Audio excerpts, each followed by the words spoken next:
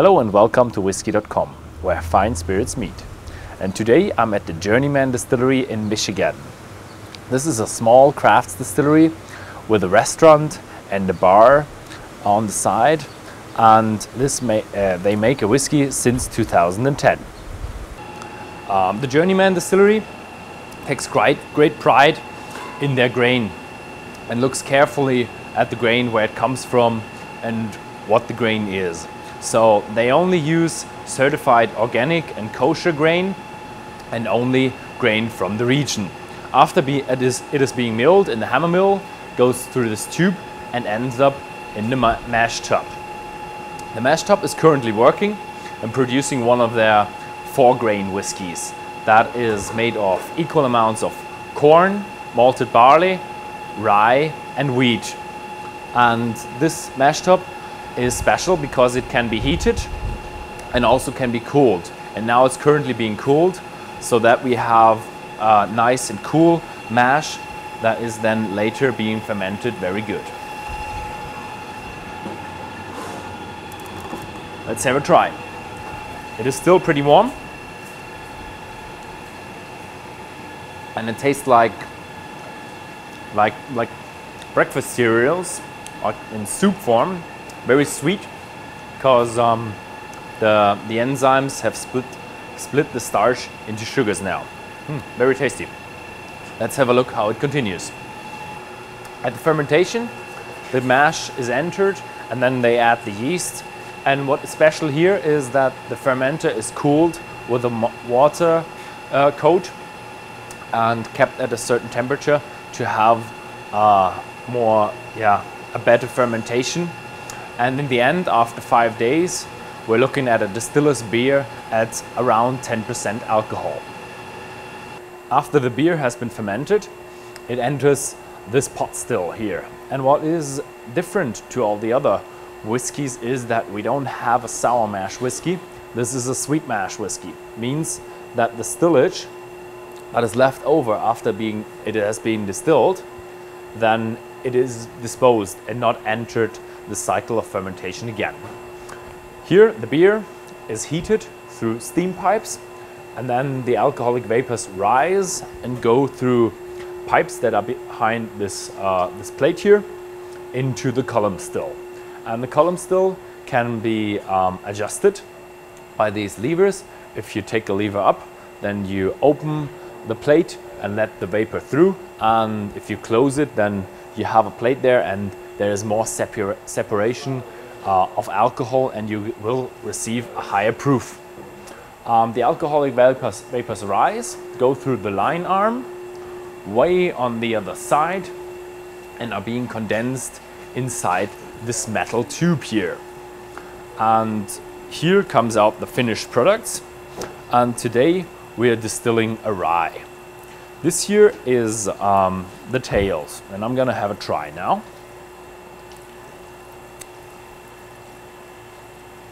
Yeah, there's tastes a bit funny. And below that is the is the fine product. And that is much drier, a bit fruitier, and doesn't have the bitterness. I think so. Um, yes, so this is the rye. Great product till now. Um, let's see how that. I'm here at the warehouse and now we can see how a craft distillery manages their product. Uh, they paint on every cask their standard label and then they write some stuff on it to remember what they stored. And let's have a look at one of the labels. On top we have Journeyman Distillery made in Three Oaks that is the name and the location of the distillery. The DSP is uh, the number given from the government that shows, um, uh, that just classifies the distillery. And here we have a product called the Buggy Whip Wheat. It's a wheat whiskey. It was filled 2015 at 60% ABV. And the distillery has a lot of small barrels, but this distillery here also um, filled uh, 25 standard barrels at 53 gallons. That is not common for craft distilleries because usually you want to have small barrels that age faster and you can bring out your whiskey. So this distillery actually invests into the future. Um, some of the barrels are not standard products, they're experiments, so they can find out what kind of great products they want to do for the future. So, I'm here with Bill Welter. You're the founder of the company. So, how did you come to distilling whiskey? Yeah, it's a, it's a long story, but I was fortunate enough to move to Scotland in, in 2000. Spent two years there and, and learned a lot about whiskey while I was living there. I always tell people, for instance, here in Michigan, if there are 140 world class distilleries right here in the state of Michigan, it just completely changes the way you look at, at a spirit. So, living in Scotland, there's over 140 really wonderful world class distilleries. So, while I was living there, I really got uh, a unique perspective. Whiskey in Scotland is part of their soul, it's part of their culture, and I was very fortunate to, to pick up some of that that history and that heritage while, while Okay. living in Scotland. I, and I developed a passion for whiskey while I was there. Okay. So, you just started the distillery in 2010 now? Yes. So, you already brought out some great whiskeys? Yeah, I started the distillery in 2010. We started distilling uh, in, in, in July of 10, and uh, we've, we've gone through this process, and we have five different whiskeys here uh, for, for you to look at, and Okay. uh, maybe we can, we can taste some of them. Okay, yeah. Just start with the first one then. Okay. Um, well, my favorite product, it's really kind of our flagship, is our, our Last Feather whiskey. And that's our rye. And it's actually the product that you tasted off the still, a little higher Ah, proof. okay, So great. this would be an opportunity for you to take, take a look at it and, and see it in its finished format. You mentioned that uh, the whiskey coming out the still is quite dry, and it, it Mm-hmm. still is in its barrel aged form. But our rye is really a unique mash bill. It's 60% rye grain and 40% wheat.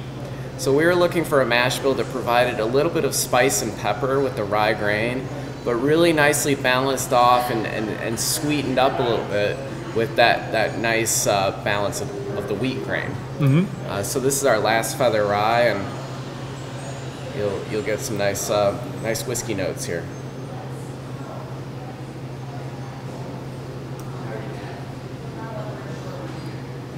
Okay, yeah.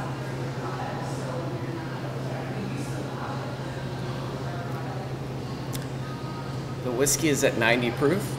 So all of our line here is actually at 90 proof. We wanted to give the consumer the option to dial it back a little bit if they'd like, add a little mm-hmm. water or, or however they drink their whiskey, or they can drink it at 90 proof, which is which is great too. But it gives the consumer a little flexibility to dial it back if they'd like. I had quite some sweetness in here, almost like, almost like a bit of honey. I would, say, I would have said. There is. There's a little honey. You're still getting a little spice and a little pepper from that rye grain. Yeah. Like with Uh, the finish in the back, I get the, the spiciness, but in the beginning, like the front of my tongue is is filled with honey. That's, that's cool. A little honey, a little caramel, a little vanilla, a little butterscotch in there. I, I, I didn't get it with the with the smell though. I don't know why, but have it in taste.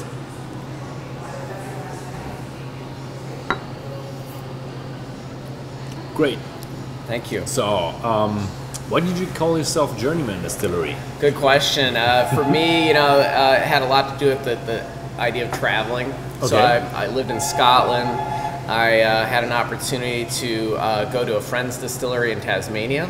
So I went down there on two different occasions. Okay. Uh, yeah, um, and then of course, you know, I kind of a culmination of my travels kind of led me here to opening the distillery. But also, it's this idea in life you really never know where you're going to be from one day to the next. So one day. Uh, you could be doing one thing, and the next day you're making you're making whiskey. and That so was- life great. Life truly is a journey. Uh, you never know where you're going to be from one day to the next. For instance, you guys are here today in Three Oaks, Michigan, at Journeyman Distillery. You probably never thought you'd ever be here, and Yeah. here you are. I, I would have met. I've traveled now through through uh, Kentucky, of ten, Tennessee, and Illinois, now Michigan, and I would have would have thought that it's a lot different. So, Yeah. but I, would have imagined Kentucky and Tennessee to be just cornfield. Yeah. But it's different. You have a lot of oaks there. You have a lot of trees and a lot They're of pretty states. yeah. And he- up here, I, I knew I've, I've been here before, but To Michigan. um, I'm not sure of Michigan, but like Yeah. the area, of the Yeah, Lake yeah. District, I've been around there, so I knew what I was was finding here. But I didn't think that you get a great distillery here. So Yeah. But now you have it. So um, that was the rye. That was our rye. Yeah, I've heard about the the, the four grain one. The four grain's really great. Uh, that's the mash that you tried. Okay. When, uh, when we were up at the at the mash tank at the beginning of the process, you tried our four different grains. Would you like to try that whiskey? Yeah. Okay. I'll be delighted. Yes. So this is our most complex whiskey. It's got four different grains: are rye, wheat, corn, and malted barley. All four grains from from local family farms here in the Midwest, all kosher, all certified organic.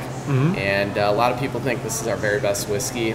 The four different grains really provide a unique flavor profile, each grain telling a little different story in the whiskey.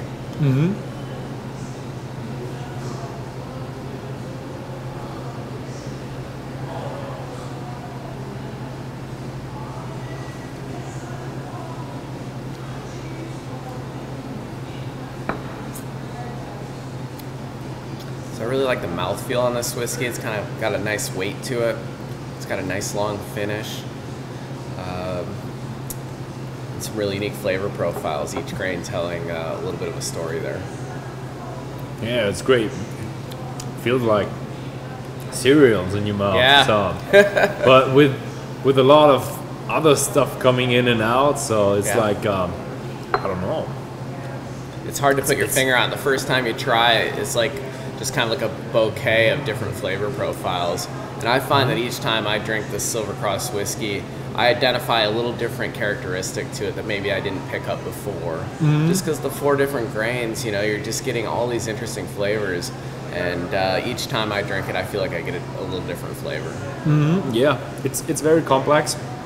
Got a, got a lot, lot of stuff in there. Mm-hmm. I can I can almost. I think I've identified the corn, and maybe the the rye is, is like gives you like the glowing, a little Gives a little spiciness, spicy warmth. warmth. Yeah, Yeah. that's what that's what the word I was looking Yeah. for. So um, And the wheat gives it kind of like a butteriness, almost kind of a richness or, or a, a nice, uh, almost sweetness to it. And then that maltiness, you know, it's so characteristic in in, uh, in single malts. We get a lot of people that, that like Scotch and, and like our Silver Cross whiskey. oh, now get a bit of dryness. Yeah. Great. Okay, um, your buildings here, a Yeah. lot of heritage. Truly. I've, I've read about it that you had was a, a whip and corset plant. That's right. So this was an old corset and buggy whip factory. You, you can't make these things up. we actually have a party that we do every summer. It uh, we have it on July 4th, which is our Independence Day. But it's a it's a, a party that where we're celebrating the history of the old building here and the fact Okay. that we now make whiskey. So we call the party corsets.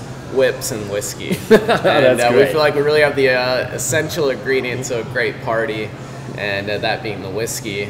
Uh, Okay. the history of the building is really incredible. A guy in the 1800s named E.K. Warren started his business here, and he started with uh, the manufacturing of corsets and buggy whips.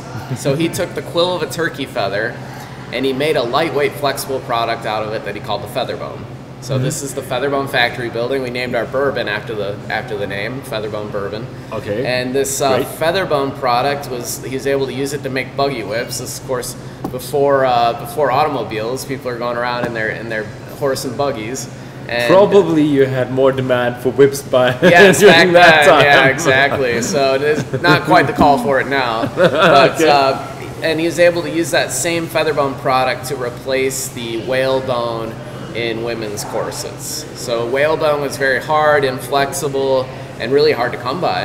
and uh, so this featherbone uh, stave is what it was that replaced the whalebone. Uh, basically revolutionized the way women's clothing was being made in the 1800s. And so E.K. Warren started his business right here in this building, and but had offices in Chicago, New York, San Francisco, London. He had office in Germany, uh, Paris, and as far as Australia. So this guy literally uh, transformed the way women's clothing was being made in the 1800s. So this is like a revo- revolutionary building for Yeah, it's got a great history. Yeah, I know, right? Yeah, who knows? Maybe someday we'll be uh, be making corsets and buggy whips again here. But right now we're making uh, making distilled spirits, of course. Great. So this is a bourbon whiskey then. Yes, this is our bourbon. You know, traditionally a Kentucky product. Most people think actually that you can only make bourbon in Kentucky. But of course, um, that's not true. Bourbon is actually a classification, it's an American product. It can only be made in America. And we're lucky enough here to, to be making a little bit of bourbon right here in, in Michigan. So, So uh, is the mash bill the secret or? no, no. Our, our corn um, or our, our bourbon is made from seventy percent uh, white uh, white corn that we get from Southern Illinois. Uh, We use twenty percent wheat, and we actually use just a dash of, of rye and, and, and malted barley in our bourbon. Uh, the rye and barley gives it a little added complexity, a little depth, a little bit more character, and uh, really kind of adds an extra dimension to the bourbon by using those four four grains. So this is also a four grain whiskey, uh, but of course, being seventy percent corn, um, it's it's a bourbon whiskey. It's a bourbon whiskey. That's right. Let's Okay. uh, let's pour a little bit of it. Yeah. So I always like to point out the, the source of our water here. Um, so there's a pump house out front. It's an old 1800s pump house, and the image of it's on the front of our bourbon bottle here. And uh, that's where we get our water. The water in Three Oaks comes up from an aquifer 130 feet under the ground. And uh, the town of Three Oaks is only 1,400 people, so they're not required to treat the water. Uh, so the water that we're getting is just a really pure water source out of this aquifer, and uh, it's untreated. There's no chlorine, there's no fluoride, there's no added chemicals to it. So we really feel like we're starting off with a great water source, and we wanted to highlight that fact on the front of our the Okay. our So you have your organic wheat, organic grains. You Yeah. have the water. Then I've, I've seen that you don't chill filter. Yeah. So you ha- really end up with a natural product. It's truly, yeah, and I think this is the way whiskey uh, was meant to be drank. I think this is how whiskey was made in the old days when this factory was built. And we're really trying to do things the right way. Uh, we're a grain to glass distillery using really clean grains, really clean water source, and uh, we, we hope it shows in the products. And you do everything by yourself, yeah? Yeah, we do everything by hand here. We don't source any products. Okay. Cheers. Cheers.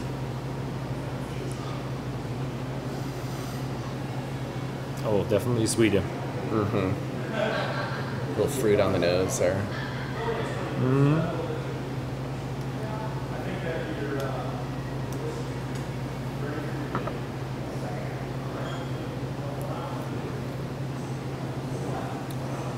like the weight weight of this one a little bit. I almost get like almost like a chocolatey uh, flavor profile through the mid palate there.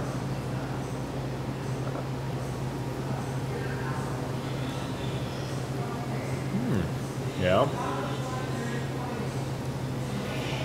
How much rye did you say is in there?